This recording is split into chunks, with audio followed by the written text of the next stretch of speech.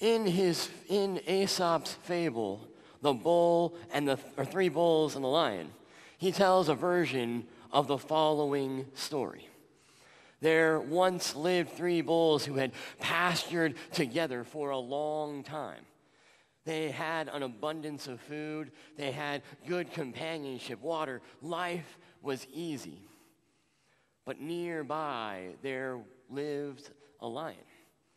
And he longed day and night to feast on one of those succulent bulls.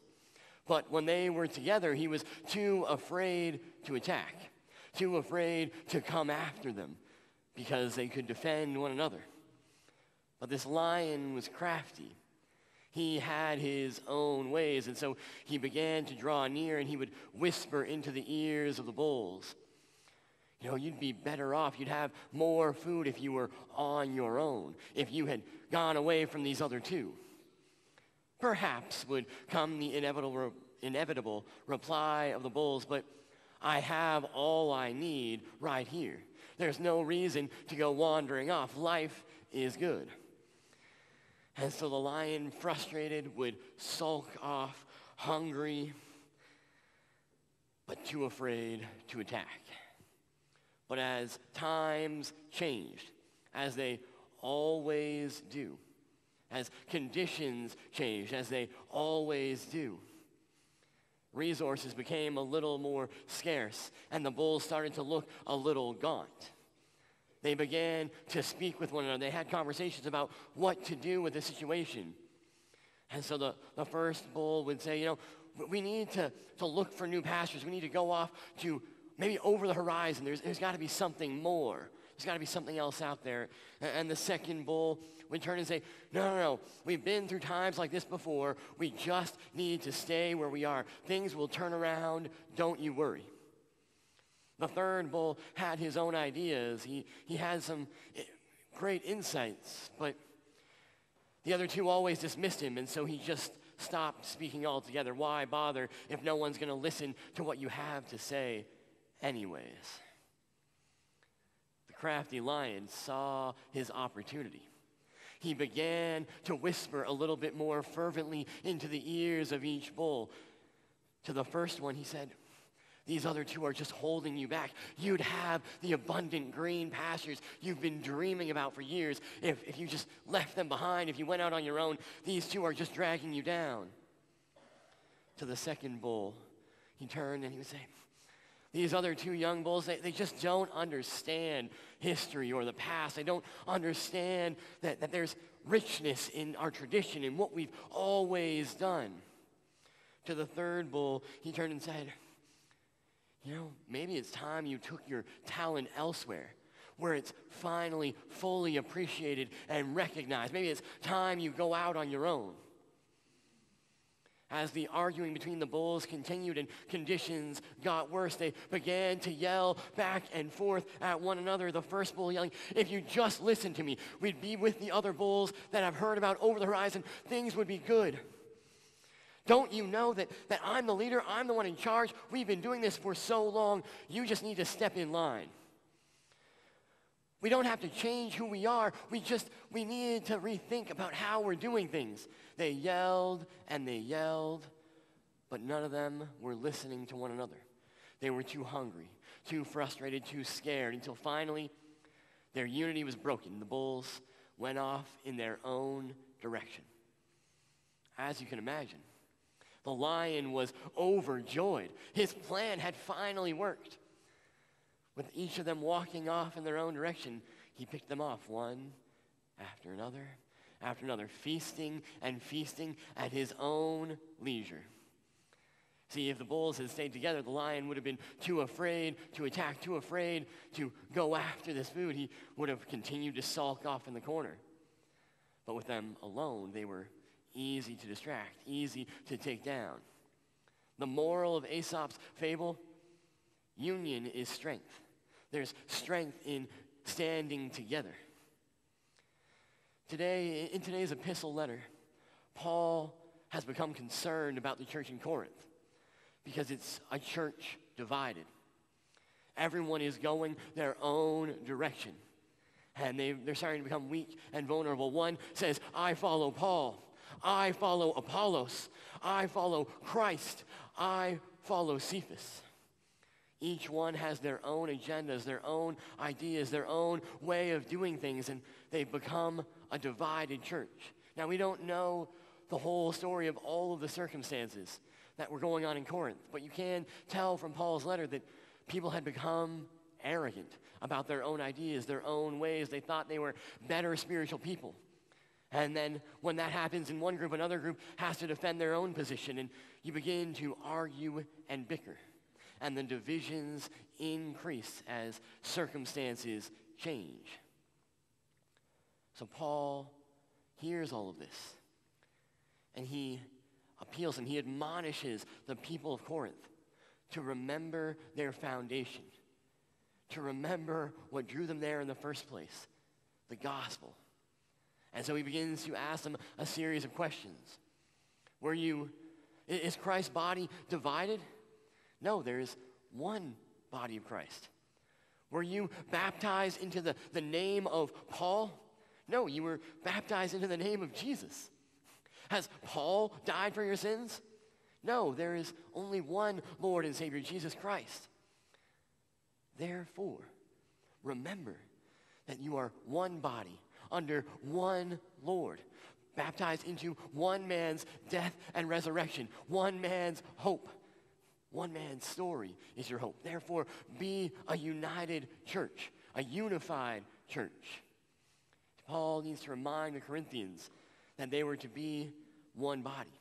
They were to work together. And so often, we as a church, we, we forget that. We need to be reminded as well that, that we're to be one church working together. See, how does it happen that we forget all this? Well, it happens because we, we start to experience the, the cultural reality is as things change. Suddenly, the, the church doesn't look as glorious as it once did. We've lost our position at the center of culture. Society and media begin to marginalize our message. Suddenly, people aren't flocking to church on Sunday mornings like they used to. Everything seems to have changed, and it's, it's scary. We feel the loss of our position at the center of culture. We worry about the future of our church. We worry about whether or not our, our kids and our grandkids are going to know the hope we have in Christ, whether or not they're going to have that foundation when things get difficult to stand on a church that, that comes together in difficult times. We're all concerned and, and we all want to do something about it. But we each have our own ideas. One group says it's time to imitate the mega church down the road. It's time to imitate the church in the city that's, that's having success. We need to be more like them. We need to change who we are. Another group chimes in that, that we've, we've always been a church about these traditions. We need more organ, more high church, more door to door evangelism, more invite a friend to, to church Sundays, whatever it might look like. Or we have another group that's saying, we need to change how we're saying the message. We need to become relevant to the youth. We need to have the music that they like and, and be more attractional. Now, I'm not trying to make a judgment about any one of those answers. There's validity to each and every one. But the problem is that as we're yelling about these things, we're not listening to one another. We're not working together.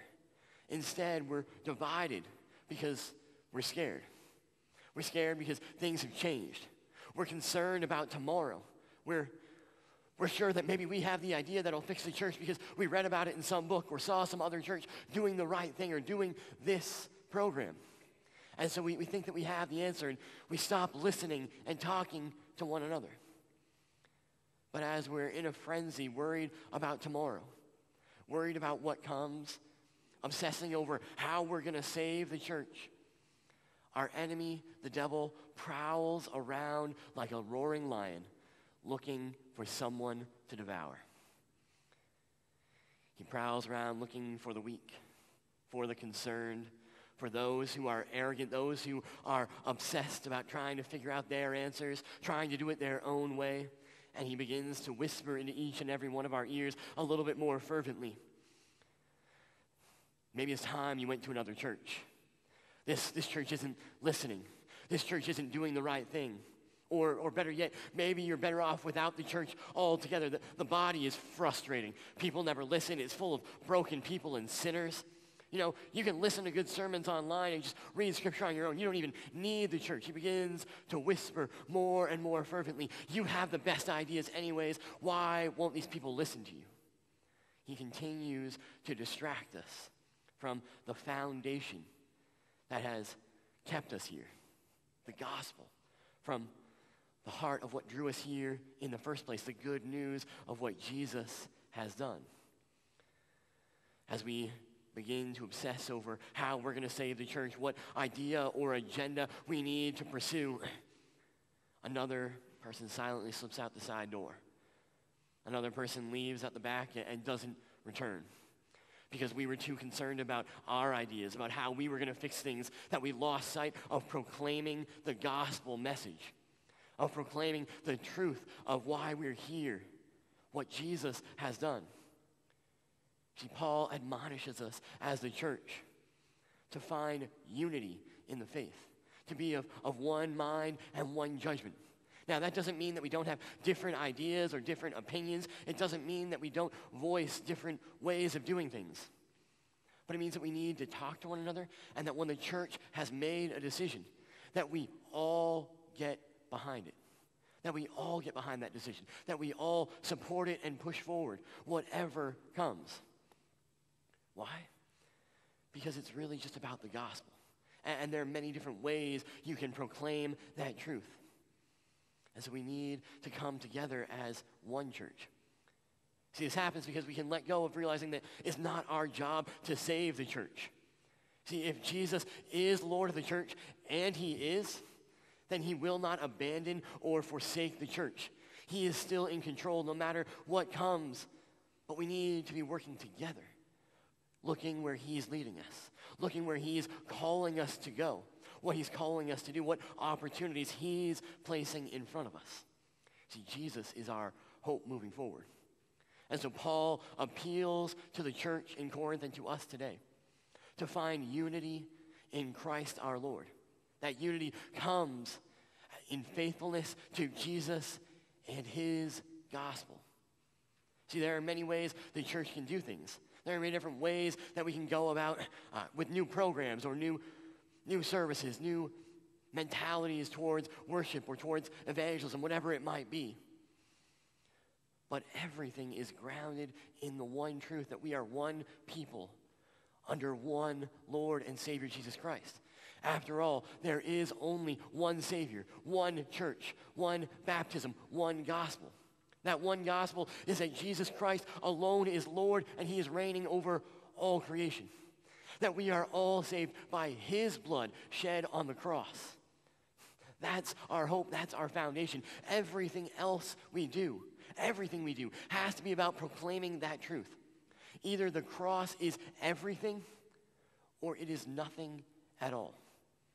When we lose sight of our, our foundation to proclaim the gospel message of Christ crucified, our opinions, our ideas, our agendas, our programs, our rich 165 year history, our feelings and our pride become too important.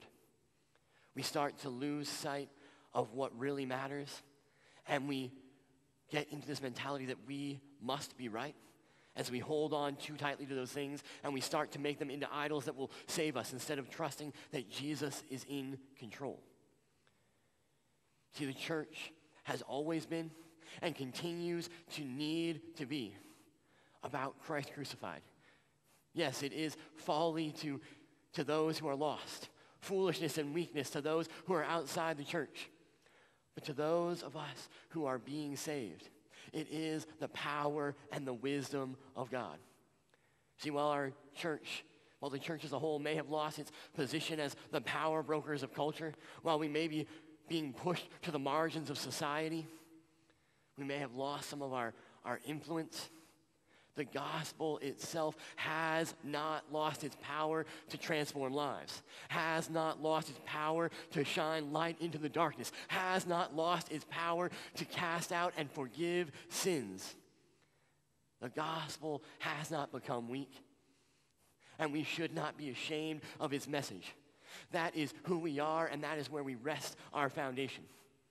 So I appeal to you hold fast in the unity of Christ as God's one people in his unshakable promises. Amen.